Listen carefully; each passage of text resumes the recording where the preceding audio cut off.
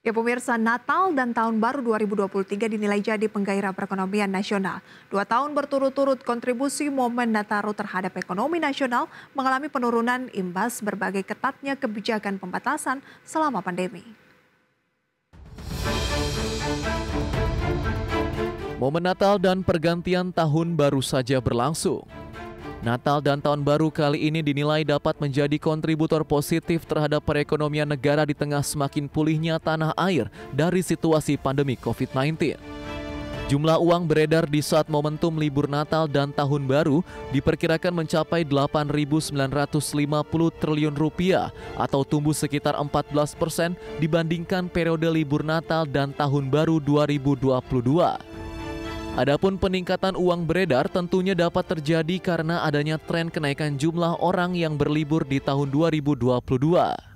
Terbaru, pekan lalu Presiden Joko Widodo didampingi Menteri Kesehatan Budi Gunadi Sadikin secara resmi menyatakan pemberlakuan pembatasan kegiatan masyarakat telah berakhir di Indonesia. Keputusan ini diambil setelah mengkaji situasi pandemi COVID-19 di tanah air semakin terkendali. Setelah mengkaji dan mempertimbangkan perkembangan tersebut. Kita ini mengkaji sudah lebih dari 10 bulan dan lewat pertimbangan-pertimbangan yang berdasarkan angka-angka yang ada, maka pada hari ini pemerintah memutuskan untuk mencabut PPKM yang tertuang dalam instruksi Mendagri nomor 50 dan 51 tahun 2022. Jadi tidak ada lagi pembatasan kerumunan dan pergerakan masyarakat. Presiden juga menyampaikan jika Indonesia termasuk negara yang berhasil mengendalikan pandemi dengan baik sekaligus bisa menjaga stabilitas ekonominya. Indonesia termasuk satu dari empat negara G20 yang dalam 10 bulan berturut-turut tidak mengalami gelombang pandemi.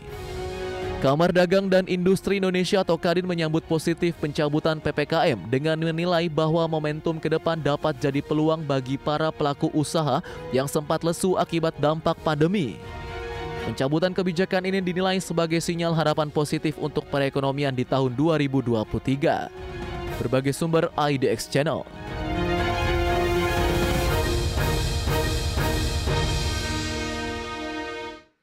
Ya pemirsa, libur Natal dan juga Tahun Baru yang baru saja kita lewati dinilai menggairahkan ekonomi di daerah khususnya daerah di mana mayoritas penduduknya merayakan Natal, serta daerah tujuan wisata di berbagai destinasi di tanah air. Data dari Kementerian Perhubungan menunjukkan jika potensi pergerakan warga selama libur Nataru kali ini adalah sebesar 16,35 persen dari jumlah penduduk Indonesia atau sekitar 44,7 juta orang.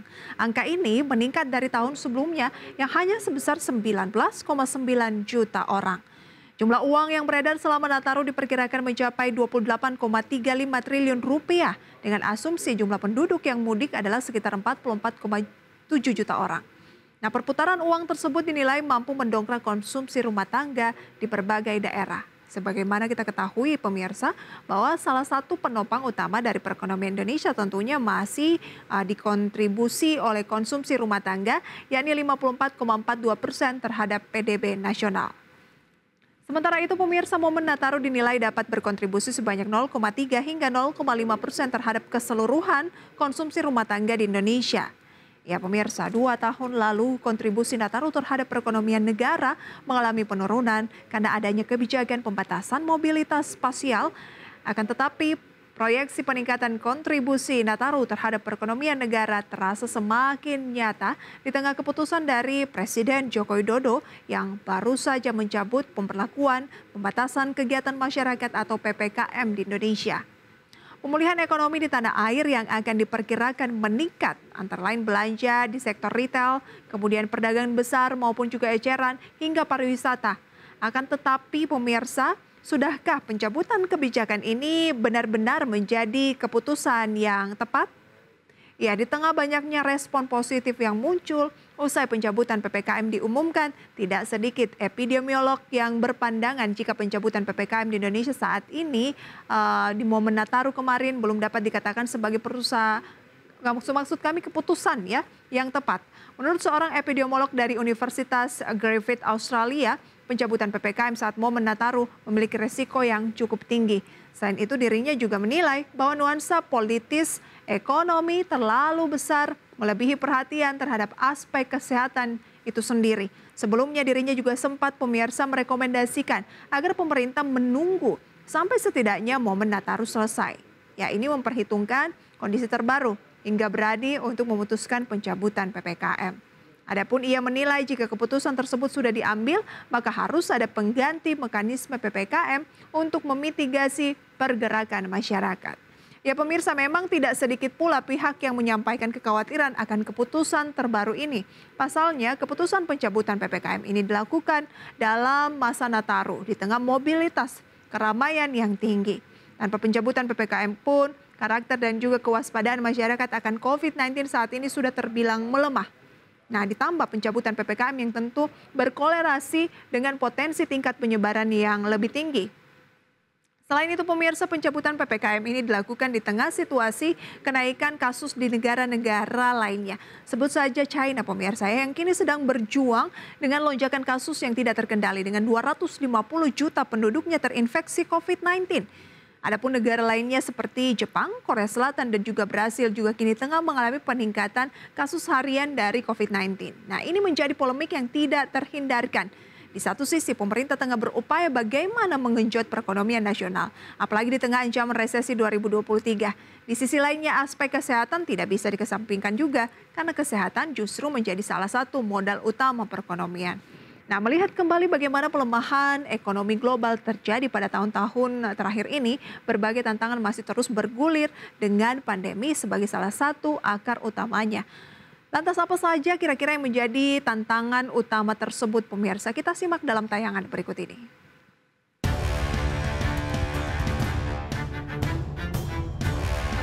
Sebelumnya, tahun 2023 sering disebut-sebut akan menjadi tahun yang kelam dan gelap ditandai dengan lesunya perekonomian global.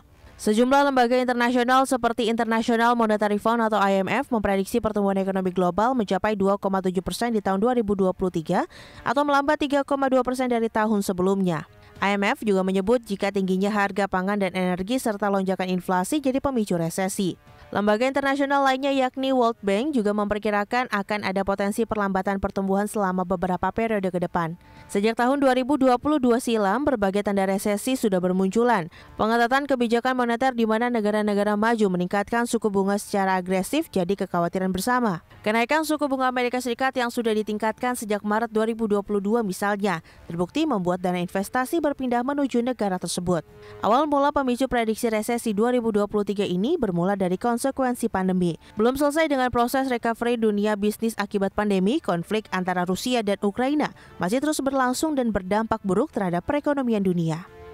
Berbagai sumber IDEX Channel.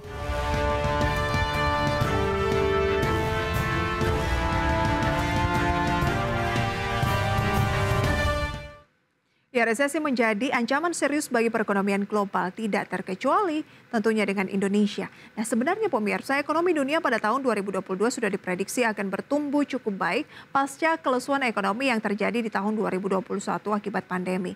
Tetapi ancaman resesi justru kembali hadir di tahun 2023 tanpa diduga-duga pemirsa ya, perang Rusia Ukraina masih berlanjut di mana kita tahu pada Februari 2022 lalu ini mulai terjadi perang dari Rusia dan juga Ukraina yang membuat harga komoditas energi mengalami lonjakan gila-gilaan. Harga minyak dan gas yang menjadi komoditas utama Rusia telah melambung drastis hingga menyebabkan disrupsi rantai pasok global. Begitu pula dengan rantai pasok gandum dan industri otomotif produksi Ukraina yang juga terganggu. Seluruh disrupsi ini berdampak pada inflasi di banyak negara di dunia termasuk di Indonesia. Resesi yang ditandai dengan penurunan aktivitas ekonomi secara signifikan selama dua kuartal berturut-turut sudah mulai terlihat tanda-tandanya. Tingginya inflasi diredam dengan kenaikan suku bunga di banyak negara termasuk Amerika Serikat, negara-negara di Eropa, dan kenaikan suku bunga Amerika Serikat telah berdampak terhadap turunnya kinerja investasi di Indonesia. Dan Berikut juga pemirsa dengan penurunan nilai tukar rupiah. Ketika resesi terjadi, maka dunia usaha akan terganggu. Produksi dan juga konsumsi menjadi tidak seimbang dan ketika perusahaan merugi, umumnya perusahaan akan melakukan efisiensi dan tanda-tanda resesi 2023 sebetulnya sudah mulai terlihat di tahun 2022 kemarin. Bermula dari fenomena PHK secara global, misalnya pemirsa ya, perusahaan sekelas Amazon, Tesla, Netflix, hingga Microsoft yang melakukan PHK terhadap sejumlah karyawannya. Tak terkecuali dengan banyaknya perusahaan di Indonesia yang juga turut melakukan PHK, dinominasi dengan usaha-usaha uh, startup. Sebut saja pemirsa saya juga uh, bukan hanya startup pemirsa tetapi perusahaan teknologi besar bahkan yang sudah listing di Bursa Efek Indonesia juga tidak luput pemirsa dari efisiensi karyawan. Ada Goto yang melakukan PHK terhadap 12 persen karyawannya atau sekitar 1.300 orang. Kemudian pemirsa ada uh, PHK 8 persen karyawannya. Shopee mem-PHK 3 persen karyawannya. Kemudian Zenius mem-PHK 25 persen karyawan dan tentunya masih ada perusahaan-perusahaan lain. Banyak di antara perusahaan-perusahaan tersebut pemirsa mengaku bahwa langkah efisiensi dilakukan untuk mempersiapkan bisnis di tengah ancaman resesi. Tidak sedikit pula di antara banyak startup kemudian mengalami kelesuan karena tak lagi mendapatkan investor. Investor lebih memilih investasi rendah risiko. Di balik berbagai tantangan yang ada pemirsa, lantas sebenarnya bagaimana situasi perekonomian tanah air saat ini? Sejauh apa optimisme yang ada untuk menghadapi ataupun menghadang serta menerjang pemirsa ya badai resesi 2023? Berikut tayangannya. Di balik berbagai tantangan yang ada, rupanya tak sedikit pula yang memprediksikan jika Indonesia akan baik-baik saja di tengah ancaman resesi tahun ini.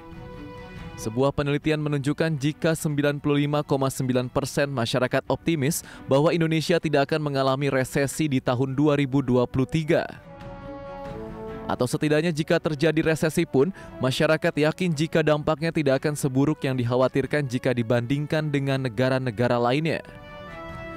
Dana Moneter Internasional atau IMF menilai jika Indonesia berada dalam posisi yang cenderung kuat untuk menghadapi ancaman resesi global di tahun ini. Sekalipun kemungkinan perlambatan ekonomi bisa jadi ada, namun IMF meyakini jika kondisi Indonesia setidaknya akan lebih baik dibandingkan dengan negara-negara lainnya. IMF memprediksikan jika pertumbuhan ekonomi Indonesia pada 2023 akan berkisar 5 persen. Secara umum, berbagai lembaga internasional lainnya seperti OECD, ADB, dan juga World Bank memprediksikan jika pertumbuhan ekonomi Indonesia akan berkisar 4,7 hingga 5,1 persen di tahun 2023. Sementara itu secara internal, Bank Indonesia memproyeksikan pertumbuhan ekonomi 4,5 hingga 5,3 persen di tahun 2023. Prediksi ini didukung dengan pertumbuhan ekonomi Indonesia selama tahun 2022 yang mengalami peningkatan.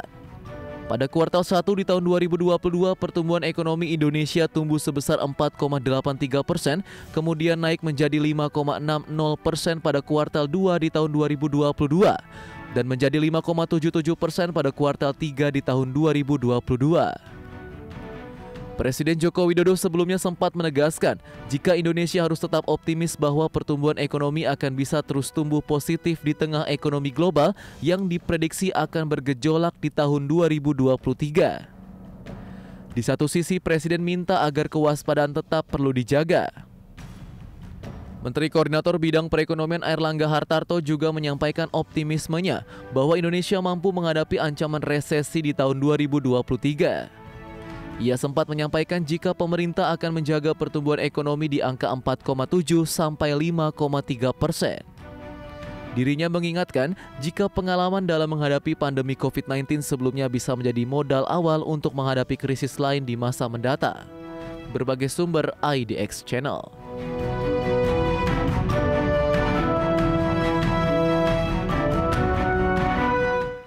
Itu dia pemirsa, sering disebut kebal resesi. Indonesia banyak dipandang akan menjadi titik terang di saat ekonomi dunia mengalami kesuraman. Sejumlah pihak menilai jika pertumbuhan ekonomi yang tinggi disertai fundamental ekonomi yang kuat ini menjadi modal dari Indonesia untuk bertahan.